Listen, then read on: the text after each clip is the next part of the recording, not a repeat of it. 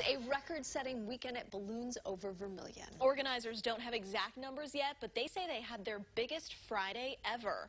Normally, there are up to 10,000 people who come on Friday, and a total of 24 to 25,000 over the entire weekend event.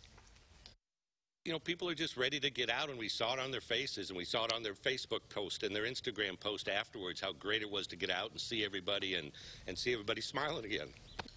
The balloons did not fly on Saturday because of the weather. However, organizers dropped the admission charge, so people were still able to enjoy the carnival, kids zone, and entertainment areas. Oh, excellent.